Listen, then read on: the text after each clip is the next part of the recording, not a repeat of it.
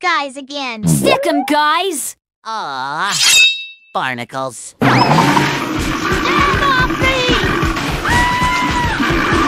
Good, I'm glad that it's not just me. Uh-huh.